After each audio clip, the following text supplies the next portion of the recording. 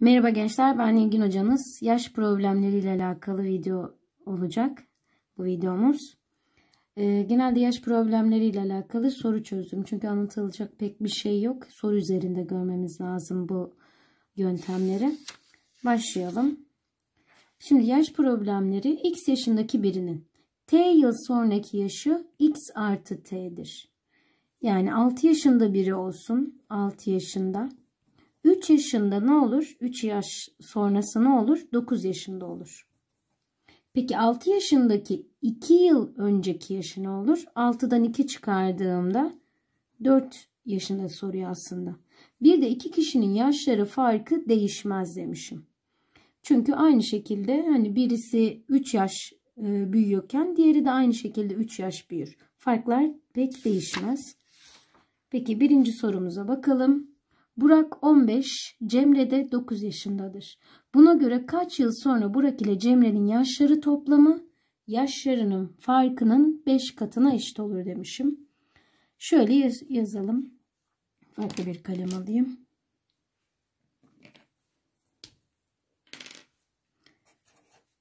Burak ve benim Cemre var. Burak 15 yaşında, Cemre 9 yaşında. Kaç yıl sonra diyor. Yani ben buna x yıl sonra desem. 15 artı x. Cemre kaç yaşında olacak? 9 artı x yaşında olacak. Ee, yaşları toplamı. Şimdi yaşları toplamı ne olur? 15 artı x artı 9 artı x. Değil mi? Eşittir. Yaşları farkının 5 katına eşit olacak.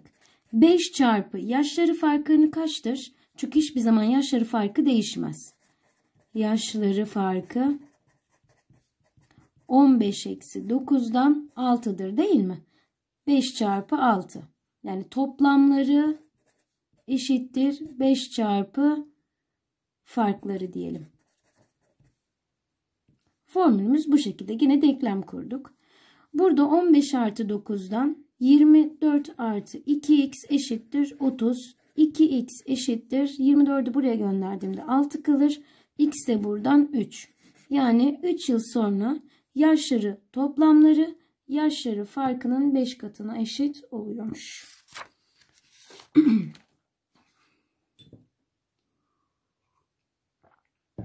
46 yaşındaki bir babanın yaşı oğlu ile kızının yaşları toplamına eşittir demiş. Baba oğlunun şimdiki yaşında iken baba oğul iken demiş. Oğlu 6 yaşında olduğuna göre kızı şimdi kaç yaşındadır? İlk önce isterseniz verilenleri bir yazalım. Yani bir elimizde babamız var, oğlumuz var, kızımız var. Değil mi? Baba 46 yaşındaymış. Bir babanın yaşı oğlu ile kızının yaşları toplamına eşittir. Yani ben oğluna x yaşında dersem kız kaç yaşında olacak? Yani bu ikisinin toplamı babasına eşitmiş. E bu ikisinin toplamı ben buraya 46 eksi x diyebilir miyim? Çünkü topladığımda 46 elde ediyorum. Kızı şu an 46 eksi x yaşında. Baba oğlunun şimdiki yaşına geldiğinde yani yaşındayken pardon yani öncesine gidiyorum. 46 x yani baba x yaşına geldiğinde pardon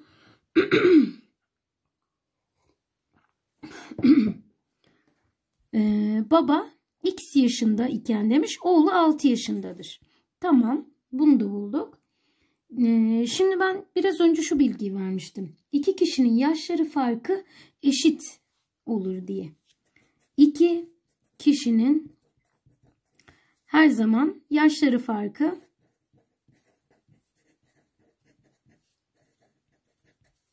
Şimdi baba x yaşındayken oğul 6 yaşındaymış.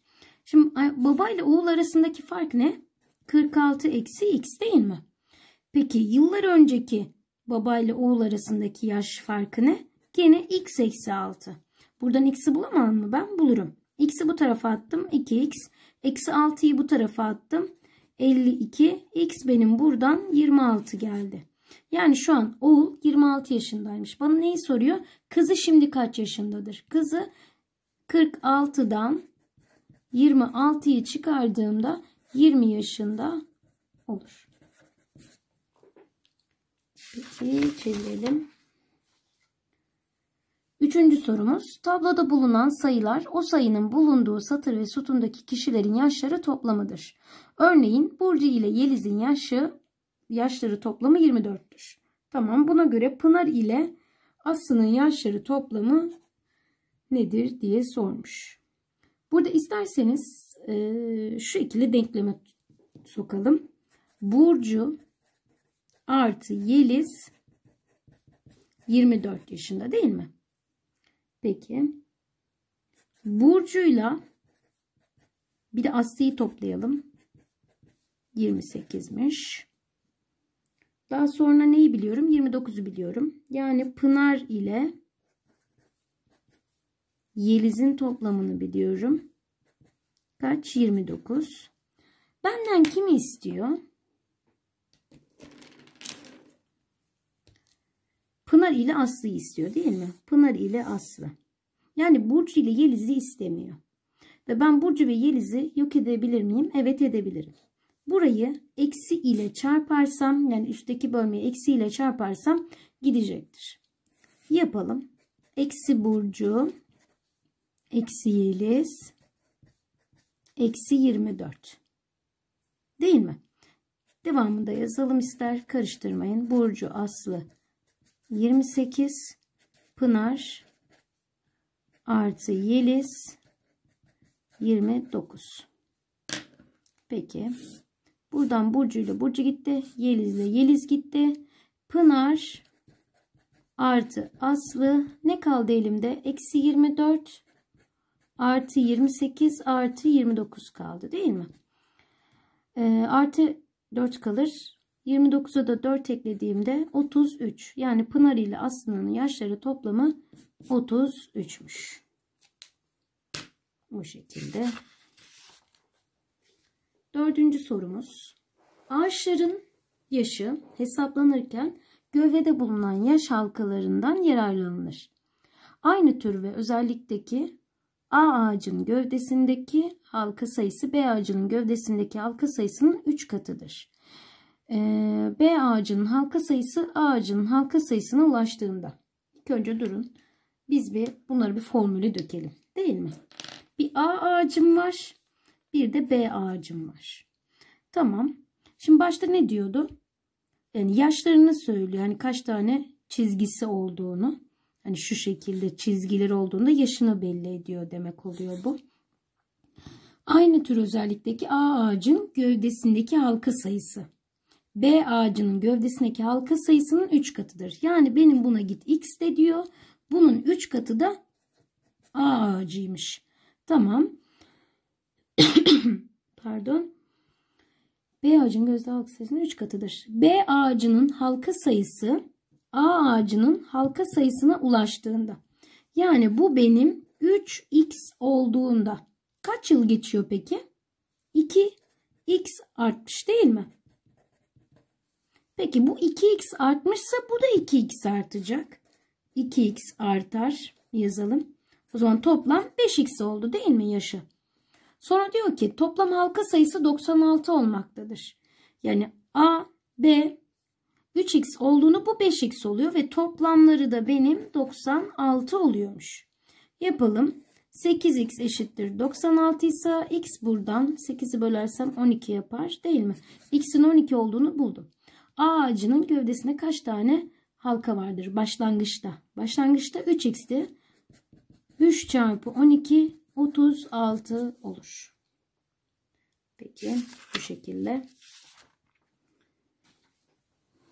Beşinci sorumuz. Tabloda 3 arkadaş ve isimlerinin altına yaşları yazılmıştır. Bu kişilerden Selim Bilal'den 2 yaş büyüktür. Buna göre Kazım ile Bilal'in yaşları farkı kaçtır demiş. Şimdi Selim Bilal'den 2 yaş büyüktür demek ne demek? Selim Bilal'den 2 yaş büyük. Yani Selim eksi Bilal eşittir 2 demek değil mi bu? Selim kaç? B yaşında. Bilal kaç? A yaşında eşittir 2. Ben bunu biliyorum. Bunu bir yerde kullanacağım.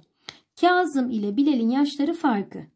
Yani Kazım eksi Bilal'i soruyor değil mi? Kazım kaç yaşında? 2B eksi A yaşında. Bilal kaç yaşında? A yaşında. Eksi A. E burada 2B eksi 2A dersem 2 parantezinde B eksi A diyebilirim. 2 çarpı B eksi A'yı biliyordum ben. 2 eşittir. Aralarındaki yaş farkı 4'müş. Videomuzu isterseniz burada durduralım. Devam olan videoları ikinci video şeklinde yayınlayayım. E, çünkü çok fazla oldu mu hem e, kısa kısa olsun daha iyi izlenilmesi de iyi olur diye düşünüyorum. Hem yüklemesi de benim için kolay olur. E, devamını diğer videoda görüntüleyelim.